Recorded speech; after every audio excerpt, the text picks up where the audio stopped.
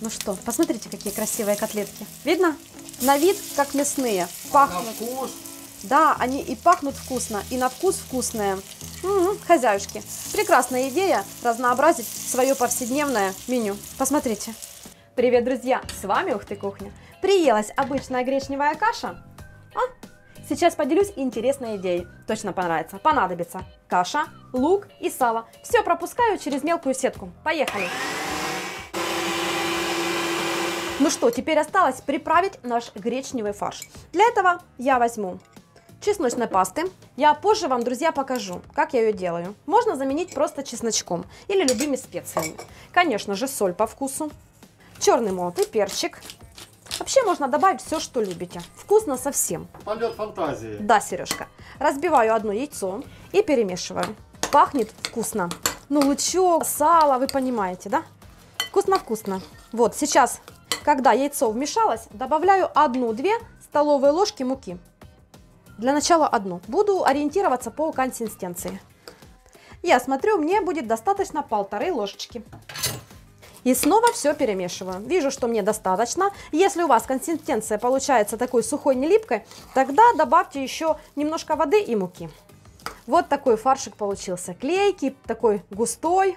А, оставлю буквально на 5 минуточек, чтобы все вкусы и ароматы объединились.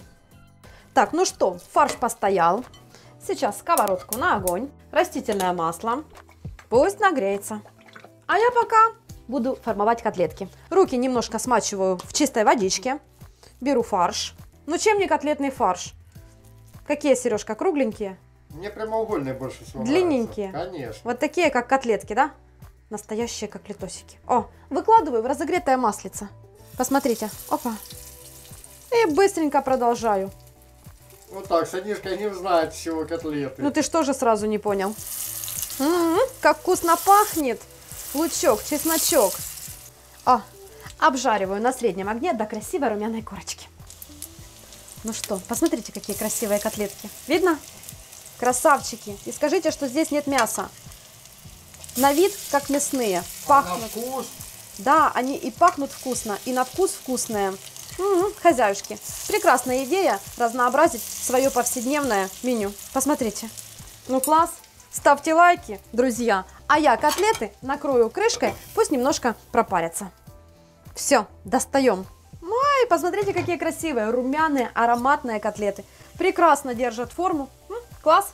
Выкладываю на бумажное полотенечко.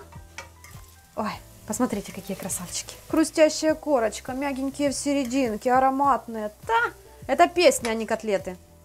Класс. Супер. Супер, согласна с тобой. Ну что, а подавать, друзья, буду, конечно же, с овощами. У меня здесь маринованный перчик. Мне прям сюда можно будет. Да, ну да, конечно же. О, квашеную капусточку и, конечно же, котлетку. Сейчас покажу, друзья, какие они в середине. Смотрим. Посмотрите, ну чем не котлеты? Вкусные, а с соленьями вообще песня. Ставьте лайки, друзья, делитесь своими идеями, а мы с Сережкой сейчас будем обедать. Ням-ням. Перчики Всем тоже. приятного Мгм. аппетита. Перчик тоже идеально сюда подходит.